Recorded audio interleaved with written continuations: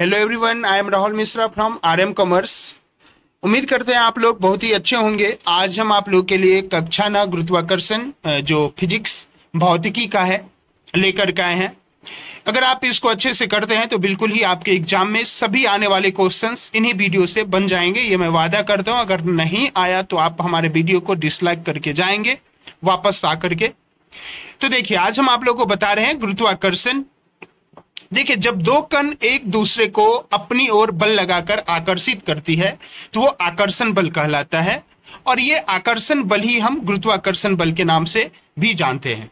देखिए, वैसे पृथ्वी के अंदर एक विशेष प्रकार की शक्ति होती है, उसे गुरुत्वाकर्षण बल कहा जाता है। तो आप बोलते हैं कि पृथ्वी के पास एक विशेष प्रकार की आकर्षण बल होती है, जिसके कारण वह किसी भी पिंड को अपनी ओर आकर्षित करती है।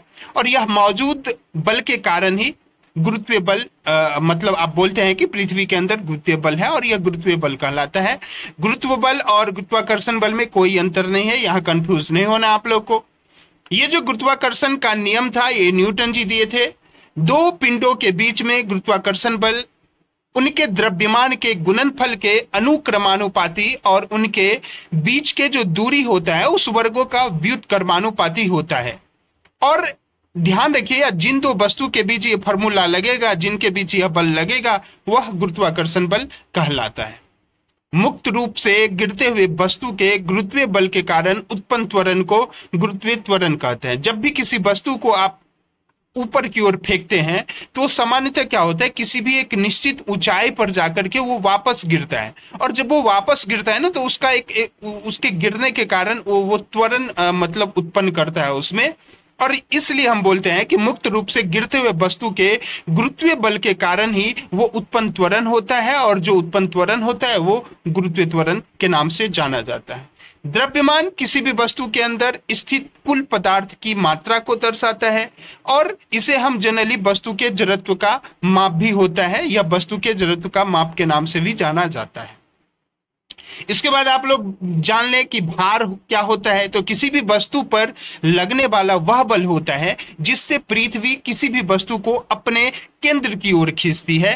यानी पृथ्वी जब किसी वस्तु को अपने केंद्र की ओर खींचती है तो वो जनरली भार का संज्ञा दिया जाता है।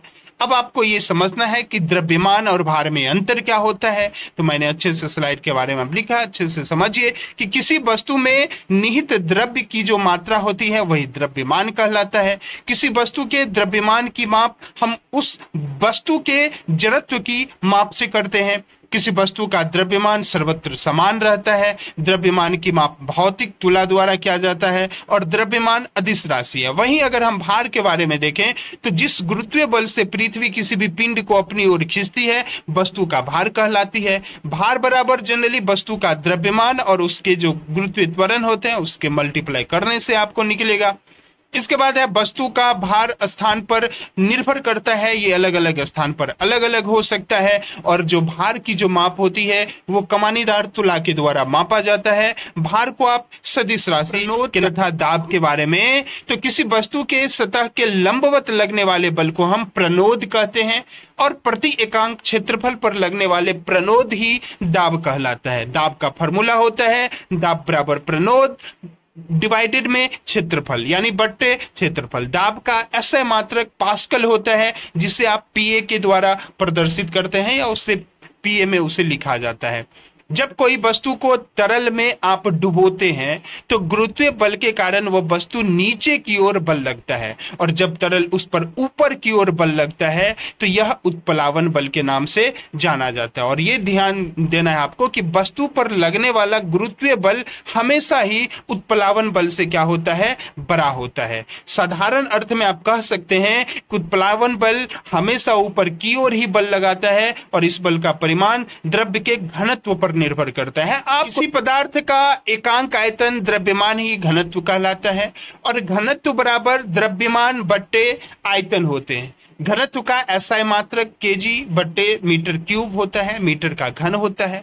आर्किमिडीज सिद्धांत बोलता है जब कोई वस्तु किसी द्रव्य में पूर्णतः अथवा आंशिक रूप से डुबाई जाती है तो उसके भार में प्रत्यक्ष कमी होती है और वस्तु के भार में जो यह कमी पाई जाती है यह वस्तु द्वारा हटाए गए द्रव के भार के बराबर होता है। अगर हम अगर... आर्किमिडीज के सिद्धांत को आपको उदाहरण में बताएँ तो आप गौर से देखिएगा कि कोई भी वस्तु होती है अगर आप किसी भी आप देखते हैं कि एक छोटे से लोहे के कील को अगर आप पानी के अंदर डालते हैं तो वो कि वो डुबो दिया जाता है।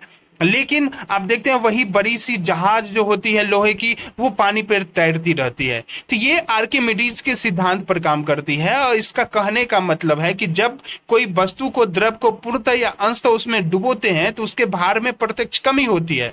और वस्तु के भार में जो कमी होती है ना, वो वस्तु द्वारा हटाए गए द्रव्य के भार के बराबर होता है। तो जब भी कोई पानी का जहाज़, जब वो पानी के सतह पर तैरना शुरू करता है तो होता क्या है? आप देखेंगे कि ये कोई भी जहाज़ या फिर कोई भी ऐसा पैसा या फिर नाव एग्ज़ाम्पल ले लीजिए, ये सभी ना ऊपर से खोखले टाइप होते हैं। लेकिन अंदर से ना इनका क्षेत्रफल बहुत ही ज़्यादा होता है। तो ये क्षेत्रफल ज़्यादा होने के कारण ये क्या करते हैं, ज़्यादा से ज़्यादा जो इनका पानी का जो आयतन होता है, वो वहाँ से बाहर निकाल पाते हैं।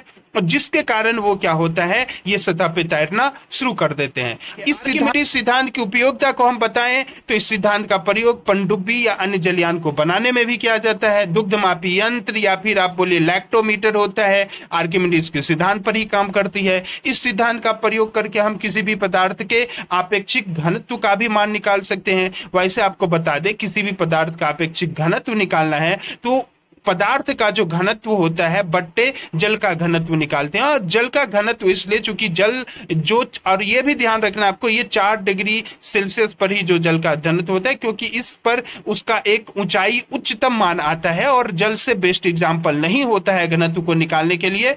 इसलिए हम जल का प्रयोग करते हैं और जल ही हर जगह सूत्र के तौर पर लिया गया है। किसी भी पदार्थ की अपेक्षित घनत्व का कोई भी मात्रक नहीं होता है यह भी आपको ध्यान रखेगा घनत्व का मात्रक होता है, लेकिन अपेक्षित घनत्व का कोई भी मात्रक नहीं होता है। ये आप लोग को अगर क्लास अच्छा लगा होगा, ये गुरुत्वाकर्षण चैप्टर्स का मैंने अपने लेवल से सारे करवाने का कोशिश किया है तो बिल्कुल भी आप जो है सो ऐसे नहीं जाएँगे। लाइक, शेयर और सब्सक्राइब करके जाए।